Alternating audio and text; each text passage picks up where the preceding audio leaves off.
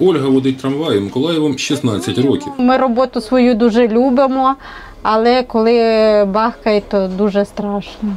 Якщо дають указання центральний диспетчер нам, то ми тоді вже заїжджаємо до парку. А так залишаємося завжди на лінії. Працюємо на благо підприємства для нашого народу.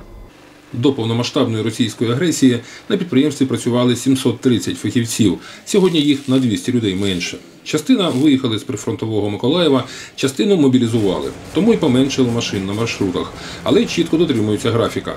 Працюємо в відповідності до е, тієї комендантської години, яка є зараз на території міста Миколаєва. Ми завершуємо свій рух основний за дві години до закінчення комендантської е, години. Після цього ще є е, один службовий та один службовий трамвай та один службовий тролейбус, який розвозить наших працівників до місць наближених до їхнього дому. А також по ходу руху вони беруть і тих пасажирів, які є на маршруті. Сьогодні два трамваї на капітальному ремонті у майстернях. Після цих робіт ресурс машин подовжується ще на 10 років. Проводятся ежедневные технические осмотры ТО-1, ТО-2 согласно графиков, э, согласно пробегов.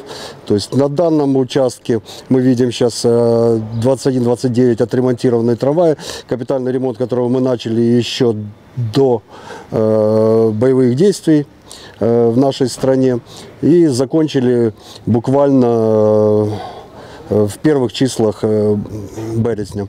Після припинення з 12 квітня централізованого водопостачання у Миколаєві підприємство допомагає містянам водою для технічних потреб.